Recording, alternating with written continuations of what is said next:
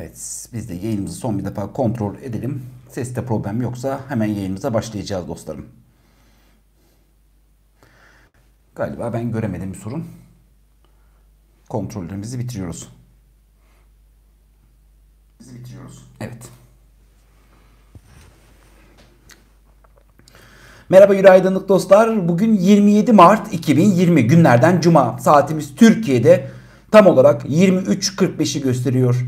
Ben Gökhan Özbek. Türkiye'nin ve dünyanın alternatif gündem değerlendirme programı olan 23 derecenin 547. bölümüne hepiniz hoş geldiniz, sefalar getirdiniz değerli izleyiciler. Alternatif medya, bağımsız gazetecilik diyoruz. 547 yayındır bu ekranlardan sizlere yalnızca gerçeğe ulaştırma özen gösteriyoruz.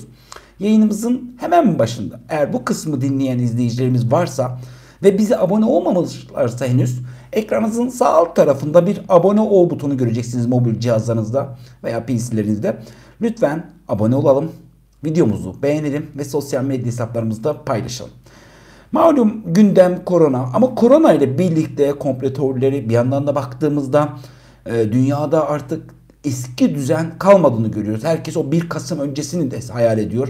1 Kasım öncesi dünyayı, Türkiye'yi hayal ediyor.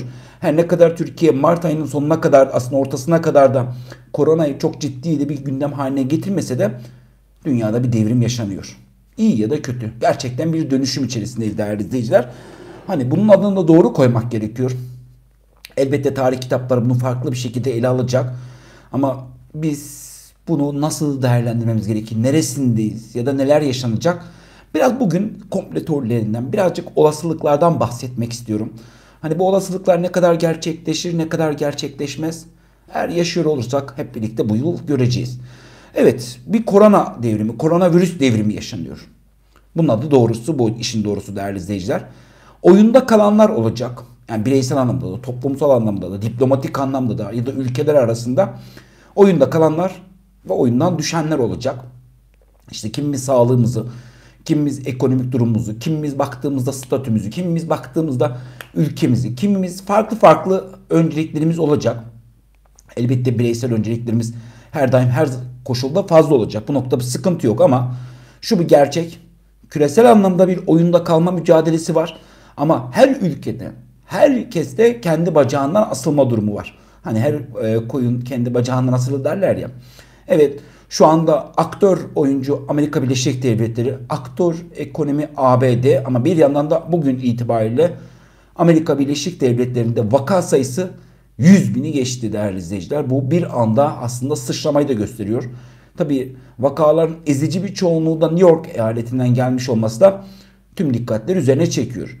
Ama ekonomik anlamda özellikle Trump yönetiminin aldığı radikal kararlar, radikal uygulamalar, bir yandan devam eden dünyadaki petrol krizi, bir yandan üretimin minimum %30'larda daralması aslında yeni bir değişimin, yeni bir dönüşümün de habercisi diyebiliriz.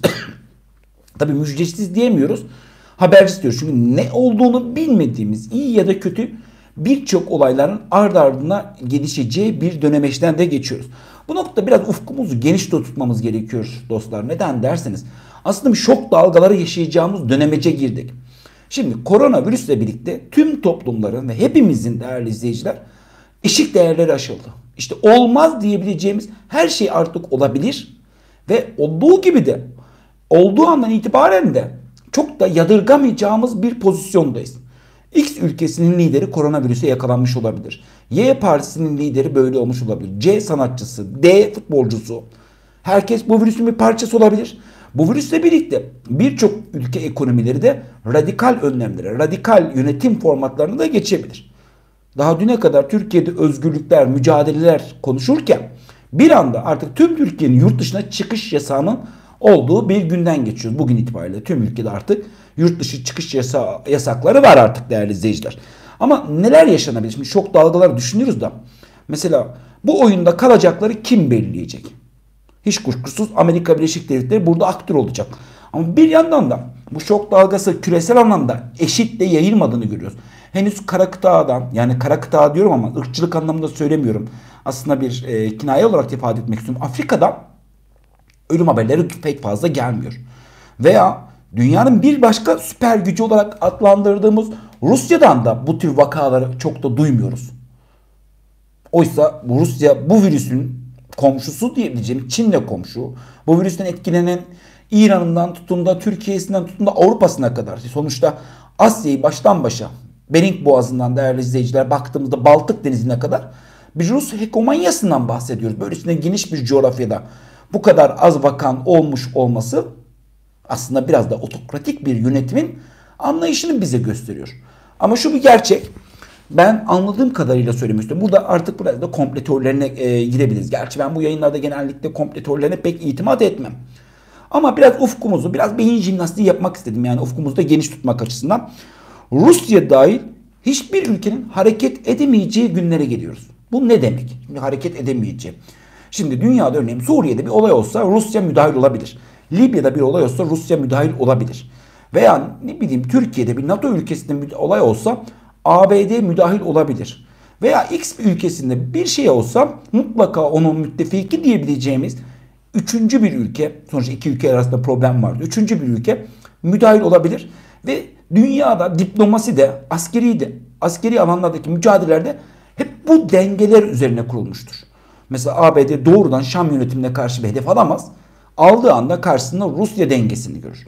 Veya Rusya doğrudan Gürcistan hedef alamaz. Aldığı an karşısında ABD'yi görür. Yani dünya bu eksende.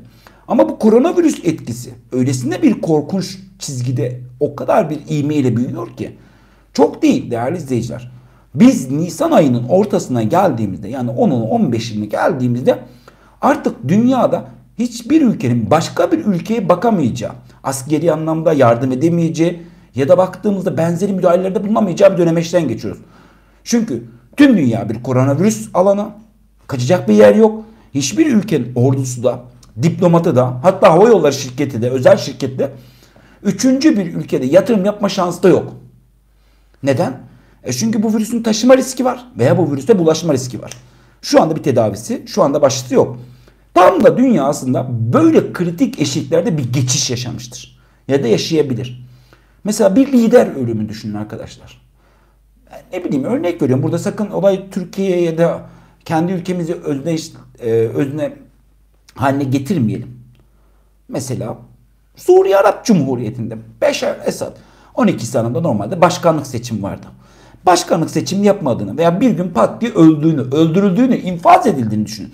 Ve Amerika Birleşik Devletleri'nin bir yerlere yeniden demokrasi getirme hedeflerini düşünün.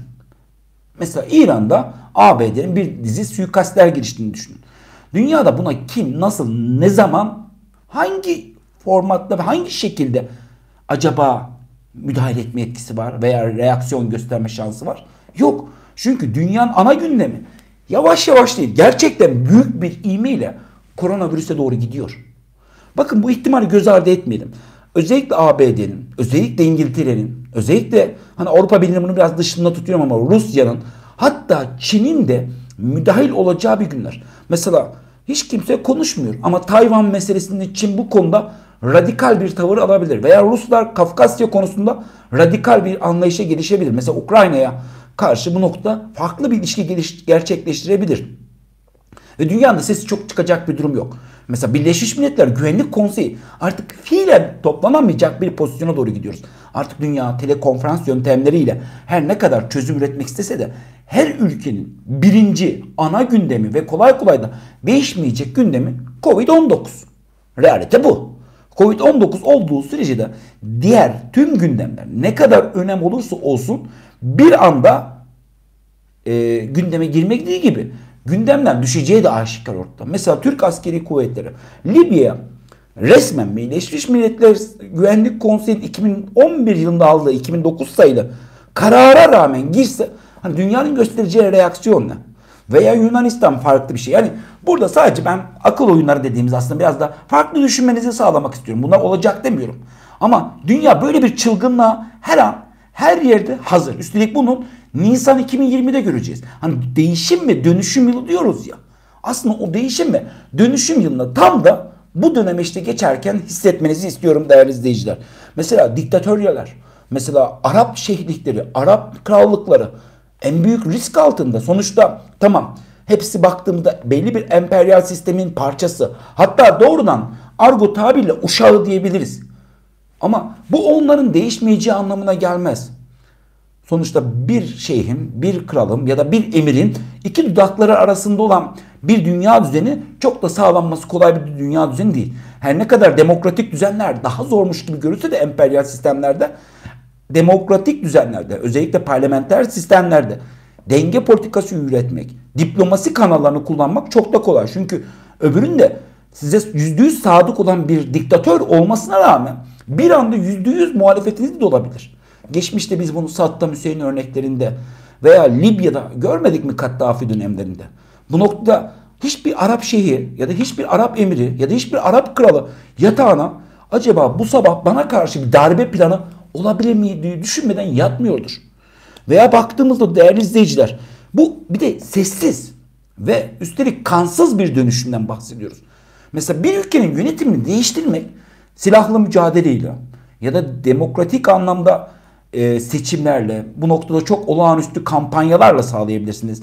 Ya da doğrudan o ülkenin topraklarına asker çıkararak yapabilirsiniz. Yine Irak örneğinde olduğu gibi. Ama şimdi Covid-19 kaygısıyla insanların sokağa çıkmadığı bir dünyadan bahsediyoruz. 8 milyar nüfusun 3.4 milyarı şu an bu yayını izleyen birçok dostum gibi evinde oturuyor. Bu rakam öylesine küçük bir rakam değil değerli izleyiciler. Asıl şok dalgası da bu. Düşünebiliyor musunuz? Hemen radikalleşelim. Örneklerimizi çoğaltmak istiyorum. Şu anda İtalya örneğinden bakalım. Bakın çok hayalperest cümleler kullanabilirim. İtalya'da mesela İtalyan ordusu ki Avrupa Birliği'ne bağlı. Hani İtalya bu örneğin çok marjinal bir örnek ama bu e, bahsettiğimiz konu. İtalyan yönetimine o popülist sağcı iktidarına karşı bir darbe girişimi yapsa kim ne der? Hani dünya birkaç kınama yapar ama o kınamayı yapacak olan koordinasyonu sağlamak bile imkansız desek. Çünkü realite bu. Dünya gerçekten büyük bir değişim ve dönüşümün içinde. Ve ısrarla şunu söylüyorum. Sessiz ve kansız bir dönüşüm sürecine giriyor. Ve biz Covid-19'un etkisini daha yeni yeni hissediyoruz dünya olarak. İşte Amerika 100 bin vakaya geçti. Dünya 500 bin vakadan 600 bin vakaya doğru çok hızlı geçiyor. Muhtemelen 13 Nisan'a kadar. Bakın buradaki modellemelere baktığımızda 11 milyonun yakın vaka. Çünkü vakalar her gün katlanarak gidiyor. Yani 100'er 200'er bin artmıyor. Dünya işte ilk 49 günde 100 bin vaka ama 400 ile 500 bin arasındaki vaka 3 günde geçti. Ve şimdi şunu söylüyorum. 500 binle 1 milyon arasındaki vakaydı 5 günde geçmesi bekleniyor. Böylesine ilginç bir dünyadan, ilginç bir dönemeçten de geçmiyor muyuz değerli izleyiciler? Gerçekten şunu söylemek istiyorum. Her an her şeyin iktisadi anlamda ama en çok da politik anlamda yönetim değişikliklerine maruz kalınacak bir günlerden geçiyoruz. Peki Türkiye ne yapabilir? Mesela böylesine bir şok dalgaları. Her an kompletörler havada uçuşuyor. Peki Covid-19'la mücadelemizde ne yapabilir? Muhalefet bir şeyler söylüyor. İktidar işte biraz önce parti cumhurbaşkanı işte basın açıklaması yaptı. 7 Mart açıkladı. Hani dişe tırnağa dokundu bir tek bana göre yurt dışına uçuş yasakları. Geç kalınmış bir karar ama doğru bir karar. Hem yurt dışına virüsü taşımamış hem de yurt dışından Türkiye virüs getirilmemiş olacak. Eyvallah. Ama farkında mısınız bilmiyorum. Tüm dünya ile artık izole olduk. Sadece biz mi? Aslında tüm devletler hemen hemen izole oldu. Ya bizim bugüne kadar tırnak içinde bunu, e, bu kavramda nefret ederim. Eğer egemen devletse egemen devlet diyelim ama yavru vatan dediğimiz Kuzey Kıbrıs Türk Cumhuriyeti bugün sokağa çıkma yasağı ilan etti. Şimdi Türkiye ne yapabilir? Ekonomik bir handikapın içinde miyiz? Allah'ına kadar, dibine kadar ekonomik krizin içindeyiz. Bunu artık açık açık da söylemek gerekiyor. Yok ekonomik kriz söyleyenleri gözaltına alınacaklarmış, tutuklayacaklarmış. Serbest piyasa kanuna aykırıymış. Korku, panik yaratıyormuş. E, dünyanın %20, %30 küçüldüğü, tüm dünyanın uluslararası kurumlarının resesyon uyarısını kırmızı kırmızı basa basa altını çize çize ilan ettiği bir dünyada biz Türkiye %5 büyüyecek dersek aklımızla alay ederiz. Milletimizle alay ederiz. Gerçekle alay ederiz. Ve kimse kusura bakmasın. Deve kuşundan farklı modda olmayız. Peki ne yapabiliriz? Ben aslında bu konuda hani uzman birisi değilim. Ama gözlemlediğim ve sizlerle birlikte ortaya koyduğumuz birkaç modelleme var. Mesela para basmak, acilen ekonomik bir çıkış formülü ve enflasyonu da doğurmayabilir. Doğru bir para politikası da güder. Doğrudan vatandaşa, üreticiye, esnafa yöneltirseniz. Ve arkasından arkadaşlar sokağa çıkma yasağı artık elzem. Belki biz bu krizi belli bir noktaya kadar konsolide etmeye çalışıyoruz. Vaka sayısı 5000. Vaka sayısı 15 bin de olsa sonuçta yoğun bakım ünitesi hastanelerin, hastanelerin yoğun bakım üniteleri bunu karşılayabilir. Böylece hastalık bir noktaya kadar yayılmış ve sağlık sistemimiz o noktada müdahale etmiş olur. Sokağa çıkma yasayla biraz da sönümlenmiş olur. Tekrar yeni vakalara karşılamış olabilir. Belki iktidarın bu yönde bir stratejisi var. Yani şahsi fikrim bilim kurulunun ki muhalefet de bunu yavaş yavaş dillendiriyor. Şiddetli bir şekilde sokağa çıkma yasağını ilan etmesini bekliyor. 3. Şeffaflaşma. Bu aynı zamanda kendi iktidarların tabanda kalması için sağlanacak bir model. Sağlık Bakanlığı yavaş yavaş verileri şeffaflaştırmaya başladı ama iş işten geçti. Biz vakaları duyalım. Nereden baksanız 15 gün oldu. İlk vakadan bugüne karantina uyguluyoruz. İşte ben kendi adıma söyleyeyim. 13 gün oldu vakalarda arkadaşlar. Ben kendimi karantinaya alalım. Ya da baktığımızda yeni bir siyasi terminoloji de gelişebilir. Mesela ben iktidarın yerinde olsam bu olaydan olağanüstü bir mağduriyet hikayesi çıkartırdım. Kahramanlık hikayesi. Korona ile mücadeleyi, sokağa çıkma yasağı, ekonomik mücadele, bunun PR çalışmaları, toplumsal algı çalışmaları çok da kolay yapılırdı. Ama iktidar ısrarla bu koronavirüsü saklamaya, bu koronavirüsle mücadeleyi sağlık sistemine güvenmediği için yürütemeye başladı. Bir seferberlik, bir milli savaş bu ruha dönüştürebilirdi. Ama iktidar neyle karşı karşıya olduğunu da bilmedi. İşin doğrusu bilime güvenmedi. İşin doğrusu dünyada böylesine yıkıcı, böylesine sarsıcı bir etki yaratacağını da hesaplamadı. Gerçi bizim iktidarda suç bulmuyorum. Bunu İngiltere'nin çiçeği burnunda sözde Türk kökenli Boris Johnson'da veya Trump gibi faşistler de hesaplamadı. Veya daha dün değil önceki gün değerli izleyiciler.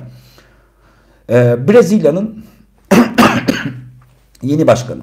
Yavru Trump diyorlar. Hatta kimleri tropik Trump diyorlar. Ee, Bolsonaro yanlış hesaplamıyorsam ismi. O bile yine inanmadı. Yani dünyada aslında hiçbir e, sağcı lider bunu hesaplamadı ama realite tam da bu. Eğer Türkiye bu noktada iktidar ki ben bunu yapacağını zerre inanmıyorum. Ne para basacağını, ne sokağa çıkma yasağını şimdi ilan edeceğini, ne yüzde yüz şeffaflaşacağını, ne bu noktada mağduriyet edebiyat ama mağduriyeti toplumsal bir ittifaka dönüştüreceğine inanmıyorum. Muhalefete zeytin dalı uzatacak bir iktidar asla görmüyorum. Oysa bugün muhalefete zeytin dalı uzatmış olsa bu ekonomik krizin de, sosyal çöküntünün de, sağlık sistemindeki yaşanan handikapların hepsinde yerle yeksen edebilir. Zaten muhalefet hazır.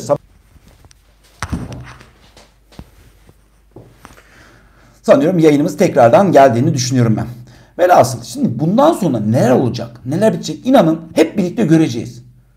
Ama Türkiye İttifakı projesi olur, başka ittifak projeleri olur. Benzeri birçok projenin artık yeniden Türkiye'de şekilleneceği günlerden geçtiğimizi ifade etmek istiyorum. Ve toparlamak da gerekirse dünya açıkça bir şok dalgalarının eşiğinde ve bu şok dalgalarının yıkıcı, değiştirici, dönüştürücü ve değiştirici gücü var. Bunu altını özellikle çizmek istiyorum. Ve bu iktidar içinde, bu dünya içinde aslında son şans. Ve ben şunu da söylemek istiyorum. Bu oyunda kalacakları Trump belirleyecek. Bakın bugün Trump'ı yıkmaya çalışan demokratlar bu virüsü çok radikal bir şekilde kullanacaklarını düşünüyorum. Tabi Amerika'daki vakalar, Trump'ın bu noktadaki yaklaşım hataları yerle eksan. Ama dünya siyasetinde kim oyunda kalacak, kim oyunda değil. Kim bizimlesin diyecek, kim bizimle değilsin diyecek. Bunların hepsinin şekilleneceği oldukça kritik bir Nisan ayına giriyoruz değerli izleyiciler. Evet 23 derecenin değerli izleyiciler. Şimdi sizlerden gelen soruları cevaplayalım. Soru cevaplar yapalım. Sizler e, sorularınızı sorarken bizler de bir hatırlatma yapmak istiyorum. Bu yayınlar alternatif medya, bağımsız gazetecilik yayınları. Ve sizler bu soruları sorarken bizler bu yayınlar için emek harcıyoruz, umut harcıyoruz. Üstelik bu koronavirüs günlerinde en çok da size, sizin yanımızda olmasını istediğimiz günler. Ne yapabilirsin? Bunun için birincisi sadece istemek yeterli. İstemek dediğimiz şey bu yayınlar sürsün. Bu mücadele devam etsin. Her akşam en azından bu e, kanalı açtığımda karşımda Gökhan'ı görebilme isteği demenizi isterim. Bu çok da zor değil aslında. Ben şuna inanmıyorum. Tabii ki ekonomik durumu çok e, radikal olan arkadaşlarımız var saygı duyarım. Ama bu yayınlara katılmak inanın çok da zor değil. 30 saniyenizi alır ve hiç kimse yani şunu da düşünmesin yani bir kahve ücreti ya bir bardak kahve ücreti. Keza hepimiz bu ara evlerimize kapandığımız bir dönem ama biz umudumuzu büyütmek istiyoruz. Ben inanıyorum ya şu an bu yayında bu kısmı dinleyen ve ben de varım diyebilecek insanlar var. Var olduğu için zaten şu an bu yayınlar katlanarak, güçlenerek büyüyor. Evet. Sorularımızı alalım. İtalya muhalefet lideri korona geç, e, geçtikten sonra AB'den çıkmak için önerge vereceklerini söyledi. Sebebi nedir sizce? Avrupa Birliği İtalya'yı biraz yalnız bıraktı ondan kaynaklanıyor. Evet videomuzu beğenelim. Ekonomik korkunun ötesinde bir korku var mı? E, toplumsal değişim korkusu sonuçta bu ekonomik çöküntü vatandaş. Bakın her türlü politik korku, siyasi korku, askeri korku yaratırsınız. Ama ekonomiyi toparlayamazsanız iktidarınız gider. Rahmetli Demirel'in meşhur bir lafı vardı. Tencereni yıkamayacağı hükümet yoktur. İktidar tencereyi artık dolduramıyor. Bu laf olsun demiyoruz. Gerçi 20 yıldır muhalefet hep diyor ki ekonomi kötü kötü kötü. Hiç kimse kusura bakmasın. Korona kadar kötü bir ekonomi döneminde yok. Sokağa çıkma yasağı yakında uygulanacak. Ee, Emre Arabacı isimli yazısını okudun. Ne isimli yazısı kardeşim? Yani ben sorunuzu tek parti yazarsanız sevinirim. Ne çok boş anlamadım Taner Bey. Arkadaşlar e, herhalde ben tekrar hatırlatmama gerek yok hangi e, formatlı soru sorulacak. Anlaşılır, sade, kısa, net sorular bekliyoruz. Lütfen imla hatalarına dikkat edelim. Çünkü ben de okurken zorlanmak istemiyorum. İngiliz kraliçesi Elizabeth'e koronavirüs e, bulaştığı söyleniyor. Doğru mudur bu iddia? Yani ben Elizabeth'in Hitler'i gömdüğü Mustafa Kemal döneminden kaldığını yani düşünebiliyor musun? Sonuçta 90 küsur yaşında bir kadından bahsediyoruz. Daha o seni de gömer beni de gömer sabit kardeşim. Bizi devlet kendi başımıza bıraktığında ne dersiniz? E, her koyun kendi bacağından asılacaktık. Devletimizin devlet olmadığını bir kez daha gördük. Papa'dan VIP ayın varmış. Valla Papa'yı bilmem de bugün Cuma VIP Cuma namazı kılındı. Üstelik iktidarında en güçlü olduğu muhafazakar tabana hitap ettiği bir dönemde. Yani samimiyetle söylüyorum ben herhalde bir muhalefet olarak Erdoğan ve şu, e, ekibi ayrı bir cuma namazı kılacak ama vatandaş cumaya gitmeyecek deseydi planlasam çok güzel bir muhalefeti argüman dedim. Bunu iktidar kendi eliyle yaptı Diyanet eliyle. İnananlar da görüyor. Kendilerine yasak ama seçilmişleri serbest.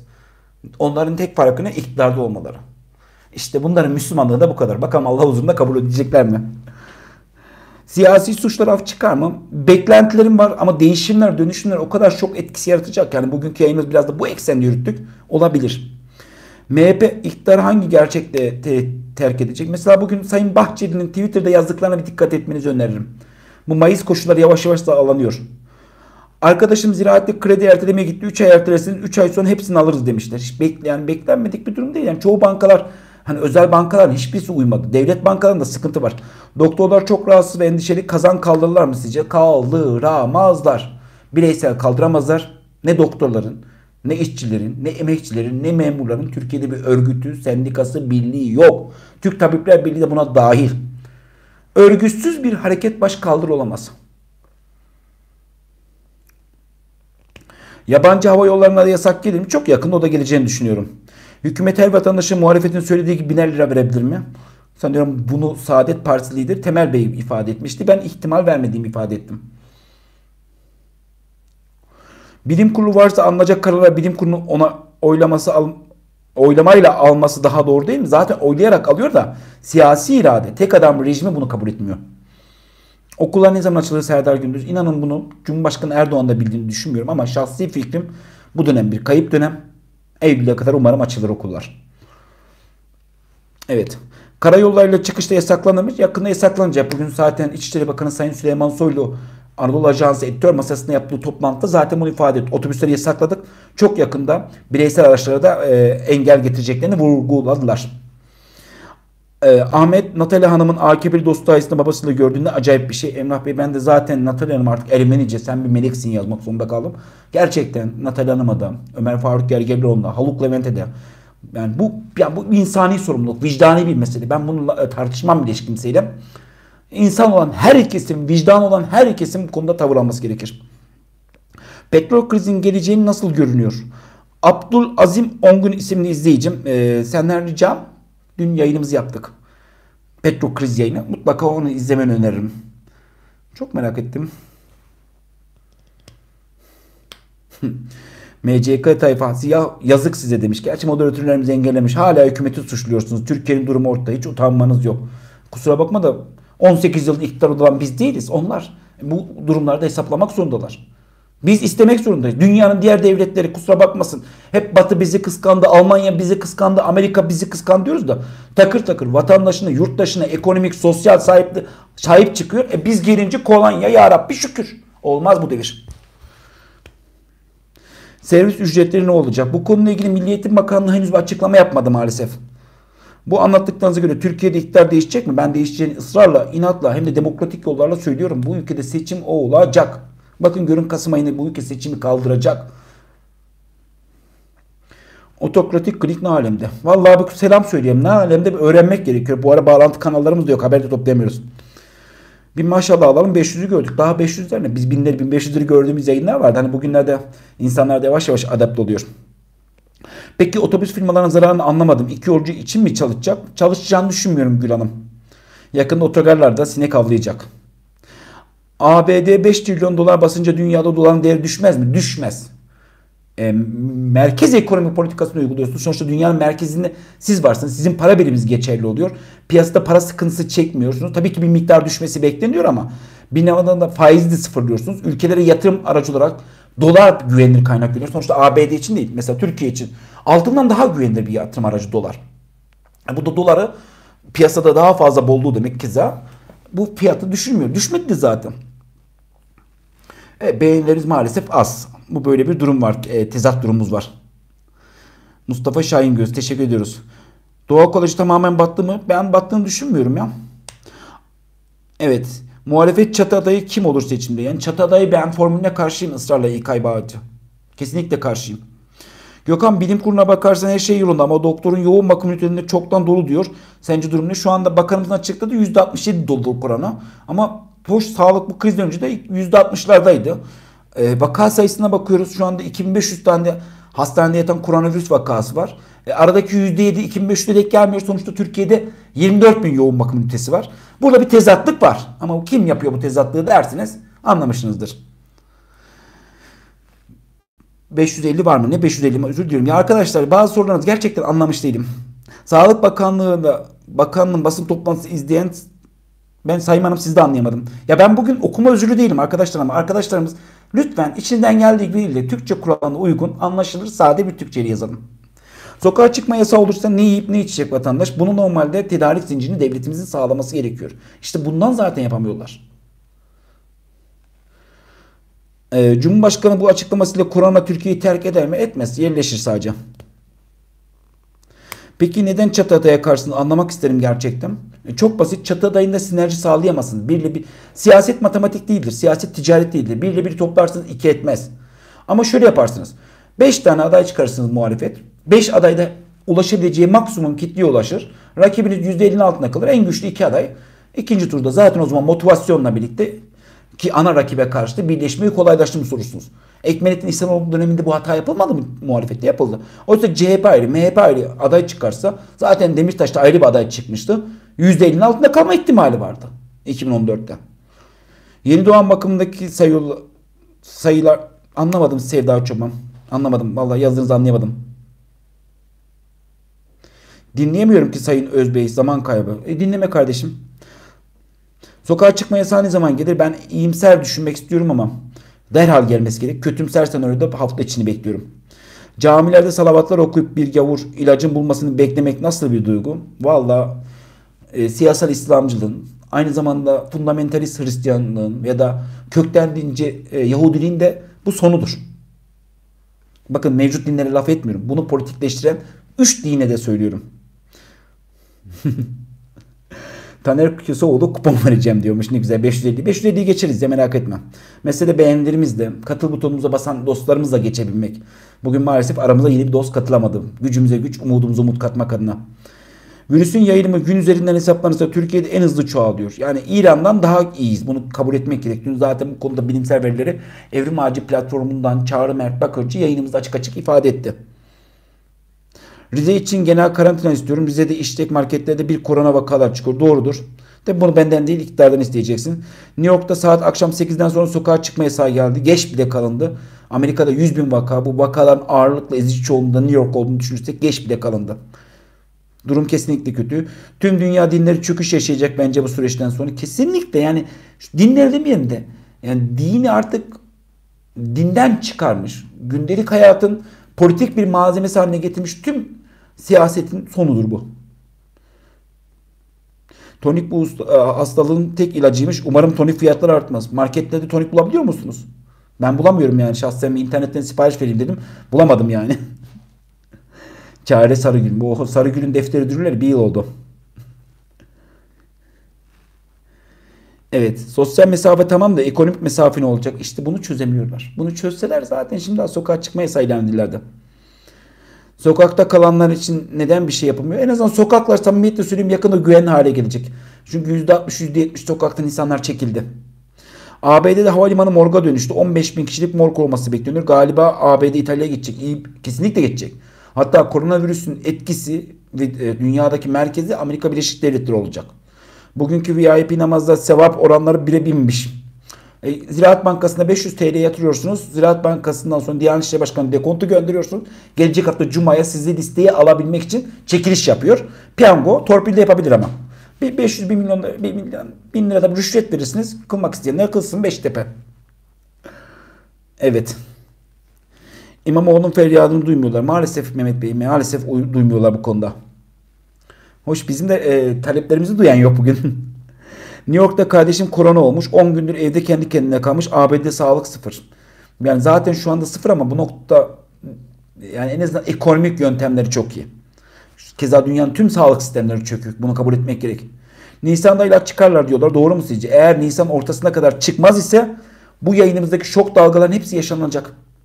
Kanal İstanbul tamamlanır mı? Hayatta tamamlanmaz.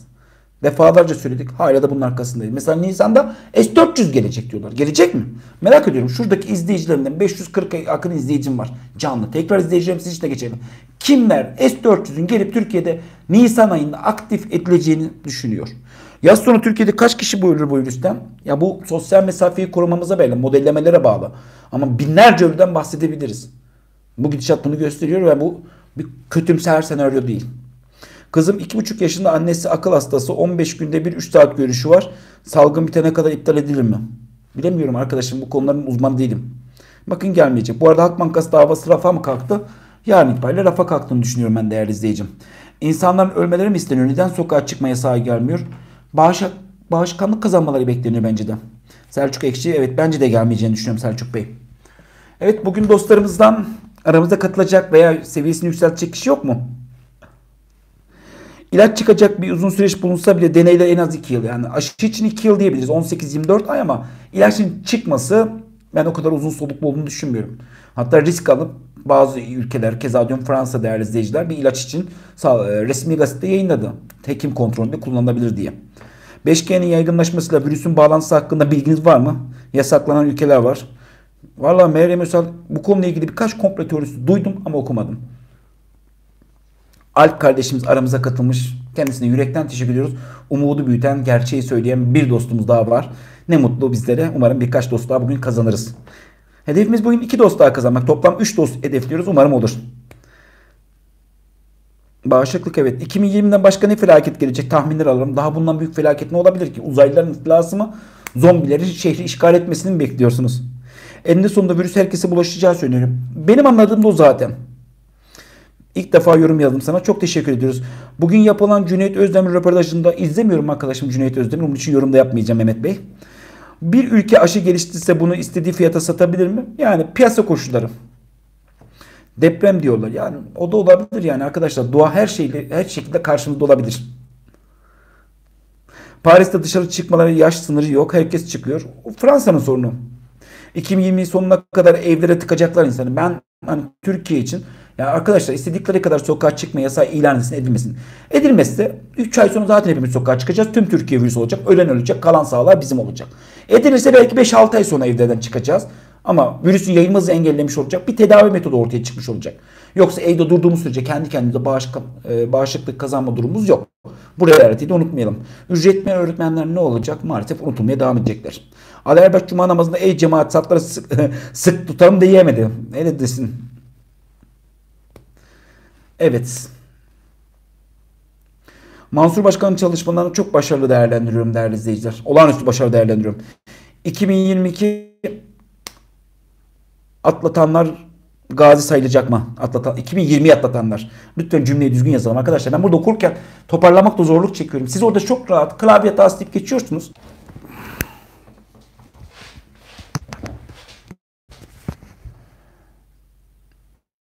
Bağlantı bir an koptu. Tekrar toparlamak istedim. Yavaş yavaş toparlayalım biz de yayınımızı. Tarım Bakanımız hakkında ne düşünüyorsunuz? Şu anda onunla ilgili yorum yapacak en son kişiyiz. Gökhan Bey dünyada devlet yok olup gidecek. Bu Amerikan zenginler dünyaya saldırı. Yok öyle bir ihtimal yok merak etmeyin. Mehmet Aygece aramıza hoş geldin. Yürekten sevgiler diyorum. Şimdi ben de son toparlamamı yapıyorum. Bugün 500 aşkın izleyicimiz var. Hadi gelin şu çarpı işaretine basalım. Bir videomuzu beğenelim. Umudu büyütmek adına 1000 beğeniye ulaşalım. İkincisi o çarpı işaretine bastığımızda abone ol butonun yanında bir katıl butonu göreceksiniz. İnanın çok zor bir şey değil. Bakın bu dostlarımız, bu umutlarımız özellikle bugünlerde sizlerin varlığı bizim için çok çok önemli. Yani bunu niye istiyoruz biz? Hani keyfimizden istemiyoruz. Geçimimizi yapmak falan değil. Gerçekten bu bağımsız gazetecilik sizlerle birlikte oluyor. Başka bir şansımız da yok. Gerisi size kalmış diyorum. Ben uzatmayacağım. Patreon.com slash Gökhan Özbek. Kresus.com slash 23 derece üzerinden de bizlere ulaşabilirsiniz.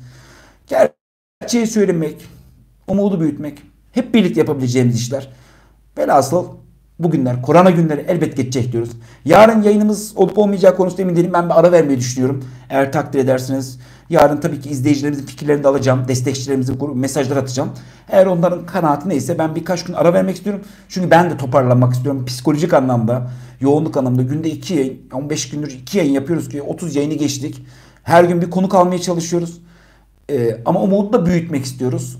Umarım umudu da büyütürüz diyorum. Umarım seslerim de geliyordur. Görüşmek üzere dostlar. Dostlarımla aramızda olmayı bekliyorum. Umudu büyütmek adına. Görüşürüz.